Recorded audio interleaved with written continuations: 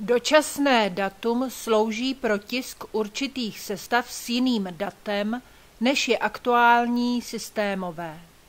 Dočasné datum změníme v hlavním okně programu v menu Nástroje volbou Dočasné datum.